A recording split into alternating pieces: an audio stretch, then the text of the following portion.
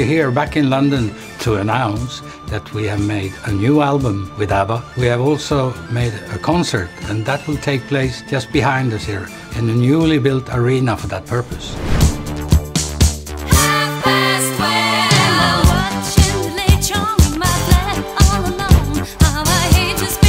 This is one of the biggest reunions ever.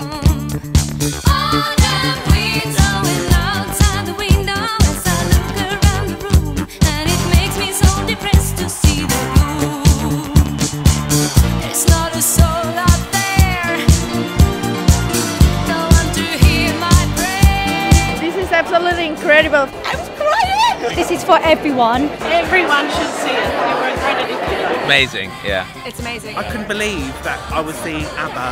I was up there singing and dancing my little heart out. It was just mind blowing, so good.